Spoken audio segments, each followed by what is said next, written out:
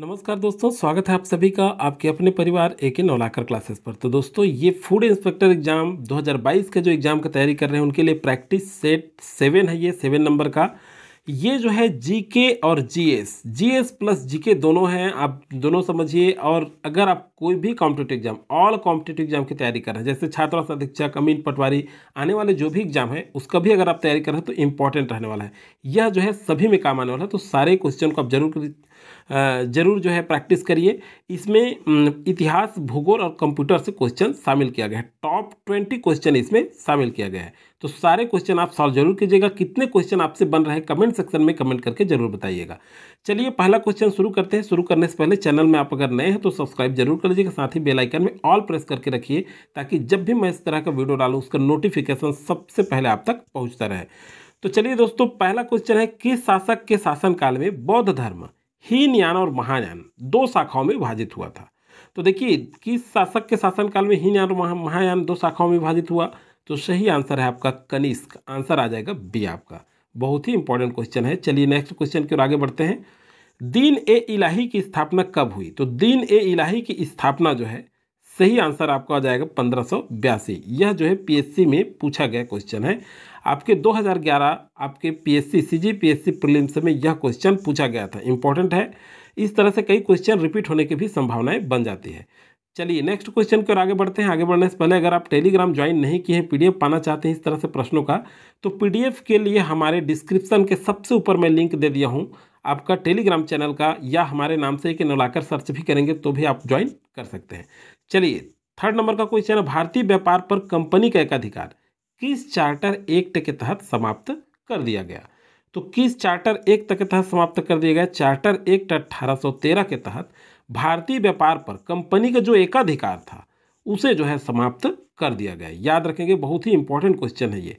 Next question के आगे बढ़ते हैं, क्षोभ मंडल। क्या क्षोभ मंडल? तो यहाँ आप देख सकते हैं, छतरी कक्षा है एक्चुअल में ये क्षोभ ऐसा होना चाहिए मिसप्रिंट हुआ है, सुधार लेंगे। क्षोभ मंडल की मोटाई सर्वाधिक कहाँ पर रहती है?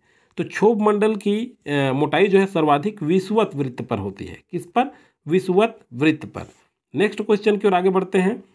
किस राज्य का लोक नृत्य ठांगटा है? तो देखिए, किस राज्य का लोक नृत्य ठांगटा है? सही आंसर हो जाएगा आपका मणिपुर। मणिपुर का लोक नृत्य थांगटा के नाम से जाना जाता है। नेक्स्ट क्वेश्चन की ओर आगे बढ़ते हैं। निम्नलिखित में से कौन सी नदी ज्वार नदमुख का निर्माण करती है? बहुत ही इंपॉर्टेंट है। बहुत बार पूछा गया क्वेश्चन है ये। तो देखिए, ये जो है नर्मदा नदी। नर्मदा नदी ज्वार नदमुख का निर्माण करती है और नर्मदा के साथ साथ यह भी आपको याद रखना है, ताप्ती नदी भी ज्वार नदमुख का निर्माण करती है। दो नदियाँ हैं, नर्मदा और ताप्ती। ये दोनों जो है ज्वार नदमुख का निर्माण करती हैं। नेक्स्ट क्वेश्चन की ओर आगे बढ़ते हैं। विश्व का सबसे बड़ा नदी द्वीप किसमें है? विश्व का सबसे बड़ा नदी द्वीप किसमें है? तो सही आंसर है ब्रह्मपुत्र में। कहाँ? ब्रह्मपुत्र में। नेक्स्ट क्वेश्चन की ओर आगे बढ़ते हैं। पूर्वी घाट और पश्चिमी घाट के मिलन स्थल पर कौन सी पहाड़ी स्थित है? तो इस तरह से क्वेश्चन इंपॉर्टेंट रहता है। इस तरह से क्वेश्चन जो आपसे आज प्रैक्टिस कराया जा रहा है, ये बहुत ही इंपॉर्टेंट है। आप सारे के सारे इसे ज़रूर अभ्यास करें पूरा। तो देखिए, चार ऑप्शन दिए गए हैं। कौन सा है? आपको समय भी दिया जा रहा है। आप थोड़ा सा देखा भी करें कि कौन सा सही आंसर है। सही आंसर है नीलगिरी की जो पहाड़ी है, ये पूर्वी घाट और पश्चिमी घाट के मिलन स्थल पर स्थित है। नेक्स्ट क्वेश्चन की ओर बढ़ते हैं। हिमालय की उत्पत्ति संबंधित है तो हिमालय की उत्पत्ति किससे संबंधित है? तो सही आंसर हो जाएगा आपका, हिमालय की उत्पत्ति जो है प्लेट विवर्तनिकी से संबंधित है। नेक्स्ट क्वेश्चन की ओर आगे बढ़ते हैं। भारत की स्थलाकृति किस प्राचीन भूभाग की हिस्सा थी? तो देखिए, भारत की स्थलाकृति किस प्राचीन भूभाग की हिस्सा थी? सही आंसर आ जाएगा आपका गुड़वाना भूमि की हिस्सा थी। भारत की स्थलाकृति जो है, ये गुड़वाना भूमि की हिस्सा थी। याद रखेंगे इंपॉर्टेंट है ये। नेक्स्ट क्वेश्चन की ओर आगे बढ़ते हैं।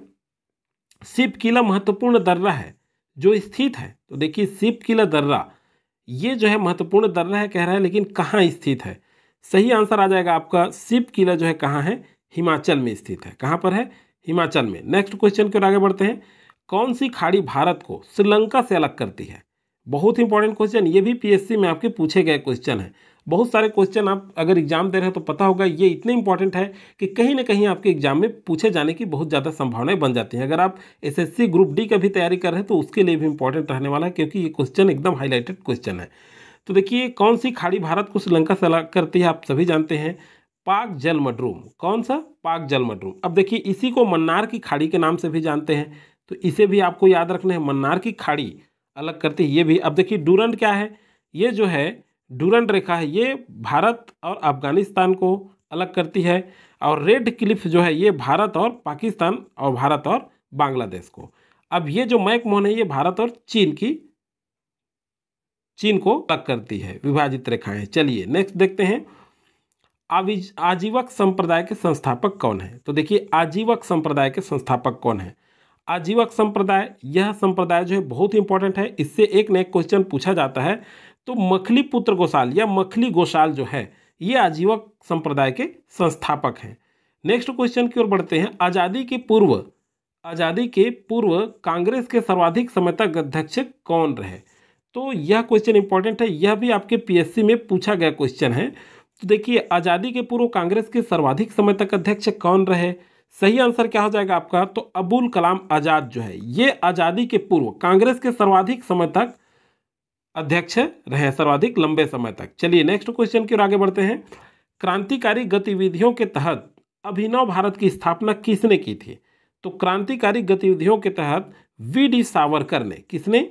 वी डी सावरकर ने 1904 में, यह सन भी आपको याद रखना है 1904 में अभिनव भारत की स्थापना की थी।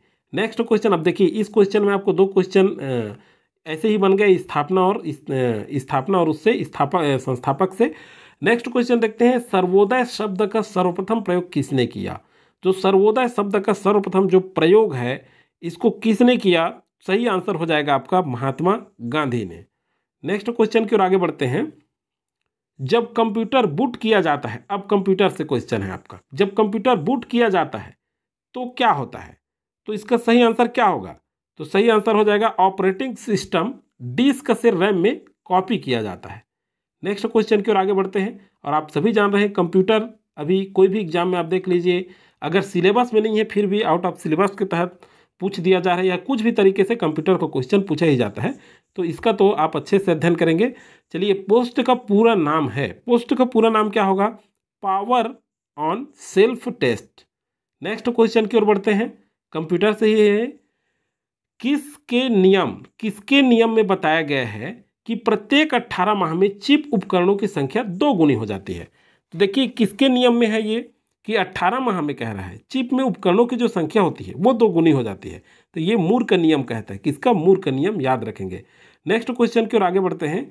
भारत का प्रथम कम, पूर्ण कंप्यूटरीकृत डाकघर कौन सा है? तो भारत का प्रथम पूर्ण कंप्यूटरीकृत जो डाकघर है ये जो है सही आंसर है, नई दिल्ली है। मिलेंगे हम लोग नेक्स्ट वीडियो में। इसी तरह से मैं फ़ूड इंस्पेक्टर की आप तैयारी कर रहे हैं तो चैनल को सब्सक्राइब ज़रूर कर लीजिएगा।